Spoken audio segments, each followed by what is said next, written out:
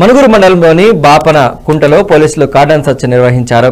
భద్రాద్రి కొత్తగూడెం జిల్లా పినపాక నియోజకవర్గం మనుగురు మండలంలో ఈ కార్డన్ సర్చ్లో డీఎస్పీ రాఘవేంద్రరావు మాట్లాడుతూ తల్లిదండ్రులు మైనర్ పిల్లలకు వాహనాలు ఇచ్చి ప్రోత్సహించవద్దని హెచ్చరించారు. యువత వాహనాలను పరిమిత వేగంతో వెళ్ళి ప్రమాదాల బారి పడకుండా జాగ్రత్తలు పాటించాలని సూచనలు చేశారు. ముఖ్యంగా యువత మత్తు పదార్థాలకు బానిస కావద్దని సూచించారు.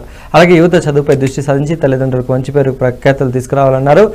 ఈ కార్డన్ సెర్చ్లో భాగంగా సరైన పత్రాలు లేని ఇరవై రెండు బైకులు రెండు ఆటోలు చలాన్ విధించారు. ఈ కార్డన్ సెర్చ్లో మనుగురు సిఐ ముత్యం రమేష్ అశ్వారూపేట సిఐ శ్రీనివాస్ బైఆర్ఎం సిఐ రాజగోపాల్ మరియు సబ్ డివిజన్ అధికారులు పాల్గొన్నారు. ఓటీపీ అడగటం అనేది ఉండదు. మీ ఓటీపీ చెప్పు మీ ఆధార్ నెంబర్ చెప్పు మీ పాన్ నెంబర్ చెప్పండి పిన్ నెంబర్ చెప్పు. లేదా భయపడాల్సిన అవసరం లేదు. తర్వాత ఇప్పుడు మన కొడుకు ఉండొచ్చు లేకపోతే మన మనవడ ఎవరో ఉండొచ్చు. అంతా అయిపోయిన తర్వాత బాధపడే ముందు ముందే చెప్తే దాన్ని మనం ఏ విధంగా కంట్రోల్ చేయగలమో ఆలోచిద్దాం. అసలు వాళ్ళకి రాకుండా చేస్తే కంట్రోల్ అవుతారు కదా. దాని గురించి తెలవడానికే ఈ నీ ప్రోగ్రామ్ పెట్టాం కానీ డైల్ హండ్రెడ్ కానీ ఫోన్ చేయండి.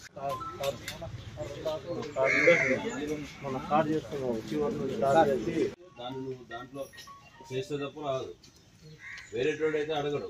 ఓటీపీ అనేది నీ సెల్లో నువ్వు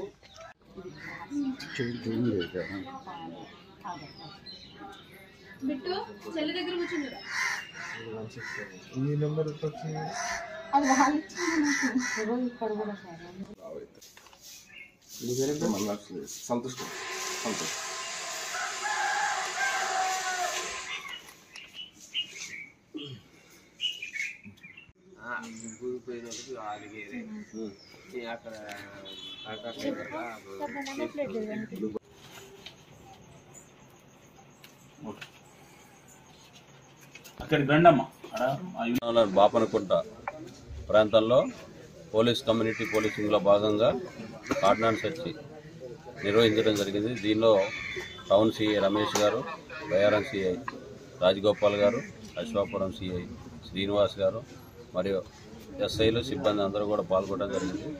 సుమారుగా నూట యాభై ఇల్లు చెక్ చేయటము దానిలో భాగంగా ఒక ఇరవై రెండు వెహికల్స్ ఇలాంటి వాటికి కాగితాలు లేకుండా ఉన్నాయి. వాటిని చెక్ చేసి వాటిని సీజ్ చేయడం జరిగింది. అదేవిధంగా రెండు ఆటోలు కూడా సీజ్ చేయడం జరిగింది. వాటిని ఆ కాగితాలు వెరిఫై చేసి వాటిని ఆ కాగితాలు సరిగా ఉంటే వాళ్ళకు అప్పచెప్పడం జరుగుతుంది. అదేవిధంగా ఈ ప్రాంతంలో ముఖ్యంగా ఈ గంజాయి కొంత యువత అలవాటు పడుతున్నారనే అనుమానం ఉన్నది. దానిలో భాగంగా కూడా వాళ్ళందరికీ కూడా కౌన్సిలింగ్ నిర్వహించడం జరిగింది. అట్లాంటి ఎవరి దృష్టికి వచ్చినా కానీ పోలీసులకి ఇన్ఫర్మేషన్ ఇవ్వాలి విజయనగరం జిల్లా మెంటాడ మండలం జైతి గ్రామంలో మొదటి సోమవారం కార్తీక మాసం సందర్భంగా